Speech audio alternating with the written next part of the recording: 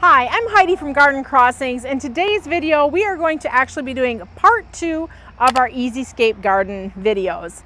We will be putting a link below to the part one part of the series, um, but the video that I did originally was just getting so long and I thought there's so much great information, so let's break it into two videos. So what is an EZ Scape garden? An EZ Scape garden is a perennial garden that's made up of three or four different perennial varieties and they are grouped together so that there's color from early season through late season in your garden. It may be foliage color, it might be flower color, um, but there's some various color going on throughout the season. Also with these EZ Scape gardens, there's a lot of solutions that are being solved. So if it's deer resistance or if it's clay gardening, um, drought tolerant, sun or shade, or even a pollinator garden. So whatever you're looking to create with a perennial garden, there's an EZ Scape garden that is sure to be a solution to what you're looking to do in your gardens and landscape. So let's go ahead and watch the next five EZ Scape gardens. The next garden we're going to look at, it's called a dry space garden. So I don't know, I'm sure there's several of you out there that have those spaces that just things don't seem to grow well in because they just don't get enough water. So this would be one of those areas, um, this would be one of those gardens that could go in those areas. So let's take a look at what some of the plants that are recommended for dry spaces are. First, we're going to look at Heuchera or Coral Bells, which is that beautiful foliaged plant. Um, it comes in various colors too. So Heuchera or Coral Bells, um, there's green, there's chartreuse, there's purple, there's black, there's kind of orangey, peachy. So they come in various, uh, various shades of the foliage color. So really, I'm sure there's, there's one that's gonna work for your color scheme. Uh, so they have the foliage with year-round interest. Uh, here in Michigan, they, they get under the snow and they get a little bit not so semi-evergreen. Um, but if we look closely, they're I guess you could technically call them semi-evergreen, but uh, for those of you in the warmer climates, they should be evergreen for you. Uh, the Heuchera or coral bells, they get the midsummer flowers, again, with the tiny little bell-shaped flower, flowers that the pollinators love. Uh, so that's going to be like foliage interest that will last you throughout the full spring, summer, fall. Next, we're going to add some flower color in, and we're going to do that with salvia. So the Color Spires series, there's Pink Dawn, there's Violet Riot. There's a lot of varieties of salvia that we carry. Pinks, uh, various pink colors, blues, purples. Um, so a lot of different, I think there's even, there's whites. So a lot of various shades from white, pink, and blue um, in that spectrum. So again, if you're not a pink person and more of a purple person, there's going to be a salvia color that will be something I'm sure you'll enjoy. So salvia, it's late spring color, early summer color, and it lasts for weeks. And if you notice that your plants kind of start slowing down, they're not putting on a lot of flowers, no need to worry. Go ahead and give them just a light trim and they'll be flowering within probably about another two, maybe three weeks or so. So one of those plants that's early season color, but the color will take you throughout the season if you go through and give them a light trim. The next on the list is a penstemon Midnight Masquerade. And this plant not only has beautiful flowers, but it's got great dark foliage as well. So that foliage gives you spring, summer, and fall interest. And then midsummer, Midnight Masquerade has pink flowers, um, kind of like little bell-shaped flowers that are really a stunning the pink is stunning up against that black foliage color. So really a, a perfect pairing of flower and foliage. Um, also too, it's going to add a little bit of height to the garden. Uh, they're going to get, I think they get about 30-ish or so inches tall. I'm kind of doing this from memory, trying to picture them out in my garden. Um, but they're going to add a little bit of height into this dryscape garden. And then last, of course, sedum. That's a great plant, drought tolerant plant. And as I mentioned before, we have our Rock and Low, Rock and Grow, and uh, Rock and Round series. So if you want to choose a just a low growing ground cover or just maybe a 10 to 12 inch ball, or even if you want to go up to like 14 to 20 inches, there's various sedum heights that you can choose from. And also too, the nice thing with sedum is not only is there a lot of different flower color, but there's a lot of different foliage color as well. So we have a lot of sedum that we carry and yeah, there's this foliage color for any garden. So long foliage color in addition to those late summer fall blooms is what's going to end the season with color for your dry space filler garden. This garden is hardy in zones 4 to 8, likes to be grown in full sun, and it's got great foliage even when the flowers aren't flowering. So it's that foliage that's going to always be giving you something interesting in this garden. And of course, being a dry space garden, it's got low water requirements once it's established. So when you're planting these new plants, make sure you're getting them watered in well so they can get established. And then once they're happy in their home, um, you can cut back on the water and then they'll be able to kind of be more of that drought tolerant garden that you're that you're looking for there. The next garden on the list is foliage friendly shadescapes. So let's take a look and see what we are going to put in the shade that's foliage friendly and who knows, maybe we'll get a little bit of flowers too. So let's take a look. First, we want to say each has a unique each of the plants that we're going to look at has kind of a unique foliage interest and one plant really is complementary to the one next to it. So even though there may not be a lot of flower color in this garden, it's that foliage that's going to really just set this garden apart. So the first plant we're going to look at is a Brunnera, Jack Frost, uh, Queen of Hearts, Jack, um, Jack of Diamonds. All of these Brunnera, again, like mentioned before, green leaves with a beautiful silver overlay, nice big heart-shaped leaves. So beautiful foliage color and texture. With Brunnera, you do get those pink periwinkle spring blooms. So you're going to start your garden off with a nice poke of blue color, and then it's that foliage that's going to continue throughout the season. Also in this garden here, in the foliage-friendly shadescape, there are more coral bells or heucheras. And like I mentioned, lots of different colors of heuchera and even the leaf texture too. There's some really ruffly ones to some that aren't as ruffled and they all kind of have that scalloped edge. So there's a lot of variety of coral bells or heuchera to choose from when you're creating this shady garden. And again, you can bring the color in with those leaves. Uh, most of the coral bells do bloom midsummer, like I mentioned before, with some type of flower, some more significant than others. Um, and you can do that when you're looking at coral bells. Um, you'll be able to tell based off of pictures which ones have the better flowers. Usually if they don't have great flowers, we don't even put a picture of the flower. But the ones that do have good flowers, we definitely highlight the flowers for those plants. And then again, hostas are always a great shade addition as long as you don't have deer. So I'm, this is a foliage friendly shadescape, not a deer resistant shadescape. Uh, so with hostas, there are so many different hostas out there. Um, Blue Lake is a great one. Uh, Hosta Wee, Empress Wu. Those are just some of the Proven Winner varieties that we carry. But when you're looking for hostas, there's various sizes available. I mean, there's three foot tall by three foot wide varieties. There's some that are maybe 12 by 12. So depending on what you're looking to do with this garden, there's, there's a size hosta for every garden, quite literally. Uh, also with hostas, there's a lot of color. Um, there's blues, there's greens, there's um, whites, creams, yellows, um, chartreuse. So a lot of variation of color when it comes to hostas. Some are solid, some are kind of a bicolor, some are tricolors. So definitely take a look at hostas not only as one singular plant, but look at them as a grouping of plants where you can play the colors and the textures and the sizes off of one another. So this particular garden, the foliage friendly shadescape, is hardy in zones four to eight. It's for full to part shade locations and it's got great foliage. The highlight of this, this garden is the foliage that's in it, and it's easy to care for as well. The next combo is called day and night combo. And this too is going to be more of a shade to part shade uh, combination. Uh, the name is kind of interesting and it's the foliage. The foliage in this combination is really quite breathtaking. So let's dig in and take a look here at the day and night combo.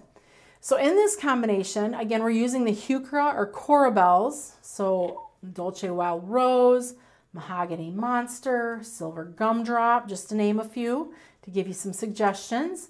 Um, but you're going to have constant foliage color in various shades spring through fall. So you can mix and match. I mean, the picture is showing just one solid color of Heuchera, which is great, but don't be afraid to go ahead and mix and match some of those varieties if there's several that you like. Um, also too, again, that flower, some of the varieties have beautiful flower scapes midsummer that the hummingbirds do enjoy. Another plant that I think is quite lovely and I don't think we've talked about yet is the Astilbe Dark Side of the Moon. So this Astilbe has near black foliage. It's got a lot of texture to the foliage. Um, it, midsummer, you get these tall plumes of rosy purple flowers and that purple up against that black is really breathtaking. Like I love the look of that dark side of the moon Astilbe. So even when it's not flowering, that foliage is is right on, but when it's the flowers come, it's just just even extra. And then the last in this combination, again, we're going to talk hostas. Uh, Shadowland Coast to Coast is the one we're going to put up there. And you can see how that's a beautiful chartreuse yellow color. Uh, that color really pops in kind of your darker shade gardens. And the other thing interesting too with colors or hostas that are shades like Coast to Coast is when they emerge in the spring, that's one of the first things you're going to notice out in your garden because your garden might feel kind of dark and just kind of drab. But once those chartreuse hostas or yellow hostas start emerging, you really can tell that your garden has, is alive and is waking up. So it fills in space, big hostas, small hostas, however, you know, whatever you like. Beautiful colors, beautiful textures. From the moment that plant breaks through the ground and starts unfurling, it is definitely starting to put on interest in this day and night garden. This garden would be for full to part shade. It's hardy in zones four to nine. Fantastic foliage. This garden is really all about the foliage. Of course, the dark side of the moon, um, or yeah, dark side of the moon Astilbe flowers. I was getting it mixed up with a hibiscus that was in my head. Um, but dark side of the moon Astilbe flowers too are just fabulous. So long season of interest. And again, it's another combination that really is very easy to care for. All right, back to those of you who have those deer issues. This garden is called No Thank You Deer. So let's take a look at what's in this combination in this garden. So this garden matches fine foliage textures and successive bloom times. So the garden is going to start off with the flowers of Veronica.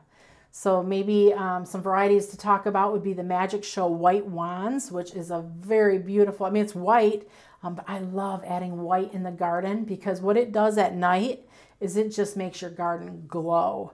So if you don't have white in your garden, add a little white and I think you'll be mesmerized in the night.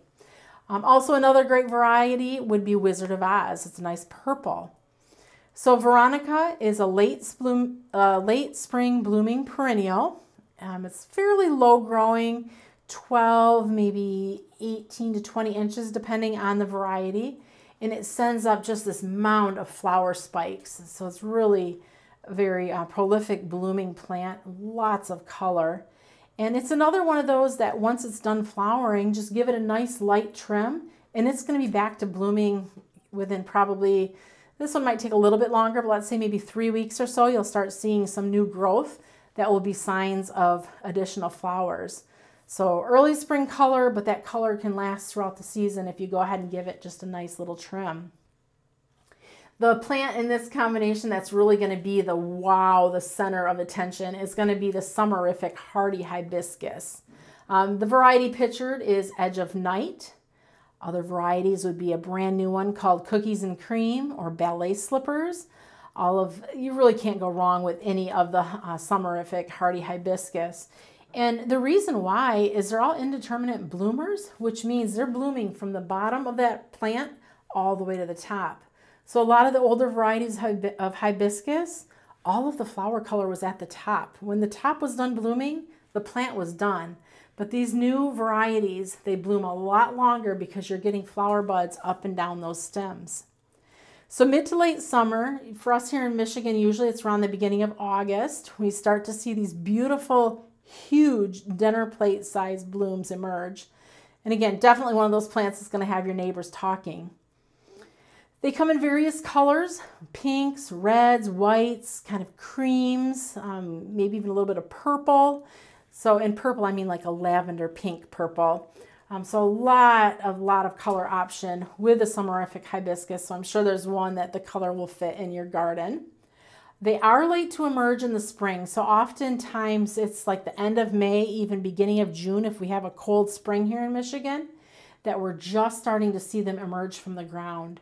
But once they do emerge, they're very fast growing and usually within about two months, they'll go from poking through the ground to giving you flowers. So really quick to catch up, even though they're a late bloomer.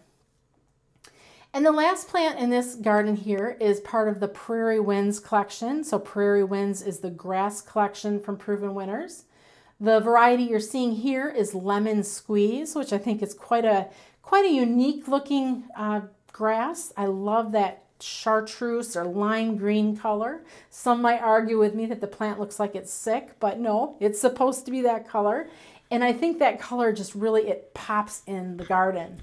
Um, other options of grasses would be Cheyenne Sky or Niagara Falls. It really doesn't matter which grass you're using here in this garden. It's going to all do the same thing, and that's give you late season and fall interest. So with grasses, they give you nice upright mounding habits. Um, some of them are more columnar, some of them are more rounded and kind of um, kind of do like a fountain type of a look. Uh, the grasses come in various colors. Some of them are speckled, some of them are striped, some of them are solid. Uh, they in the fall or late summer, you're going to see these little seed heads appear, and that's really or plumes, and that's what's giving those uh, grasses their interest. And the other thing is, is if you leave your grasses up in the winter, actually all season these grasses are adding motion to the garden. But in the winter, when there's not a lot going on, perhaps in your garden, these grasses, they're going to still be swaying in the breeze. And I think that's just what's such a beautiful thing about grasses is even when they're, let's say, dead, they're not dead, but their blades are dormant, dead, because, you know, grasses you trim back, you can still enjoy them even when they're out of season. So the no thank you deer, EZ Scape, is for full sun. It's hardy in zones four to eight. It's a pollinator friendly EZ Scape, deer resistant, obviously as the name implies, and it's really very low maintenance and heat tolerant once it's established. And the last one we're going to talk about today, so thanks for sticking with me if you're still watching this video, um, but, I, but in all seriousness, I hope that these are gardens that um, have given you some inspiration and maybe are helping those of you that are new gardeners just figure out what to plant together and what would look good together. So that is my goal with this video. Um, so the last one we're going to look at is season-long interest. So with perennials, so many people say, you know, I want the perennial that blooms all summer. Well, in all honesty, there's there is a few, but most perennials really they don't bloom all summer. Sometimes they'll bloom, you can trim them, you'll get some more blooms, but it's, it's hard to find a perennial that'll take you from start to finish. Uh, so this garden here is gonna give us season-long interest. It's gonna be some of the more longer blooming uh, flowers or foliage interest. So let's go ahead and take a look at what the season-long interest garden looks like. So in this garden, it actually has two of our new varieties for 2024. Um, you don't need a lot of plants to have a garden with real impact. Here we're pairing foliage and vibrant blooms together to give us that wow factor that's going to take us from spring through the summer. The first plant, which is a new variety, is Artemisia silver lining. This plant will be up early in the spring and it'll be flashing its silvery foliage. That foliage is simply stunning. It's got great serrated texture to the leaves, um, one thing I will say with this variety is it's not going to send off runners. It's not invasive. Um, it just creates nice little mounds. Um, I have found though, like for us here in Michigan, and um, you might find this as well, it does, it, you don't have to trim it midsummer around July, but in the trial gardens, it was starting to get a little bit biggish feeling and kind of maybe open a little bit. So they just went in and gave it a light trim and let it reflush out and that took it through to the end of the summer. So it can benefit from a light trim midsummer just to keep it looking tidy until the fall. Pair it with the Astilbe Dark Side of the Moon. You heard me talk about this one earlier with its great dark near black foliage and the beautiful purple blooms. So you'll have the contrast, like I said, with that black foliage up against the silver. That in itself is just a beautiful combination. And then adding in those purple flowers is really, really stunning. Now, that's not going to be the only purple that you're going to get in this garden, or pinkish purple, let's say. Um, we're going to add in some phlox as well. So the Luminary Prismic Pink Phlox is a new phlox variety, uh, part of the Luminary series. And it just has these exquisite hot pink blooms midsummer. Like it's a phlox that just wows when you see it.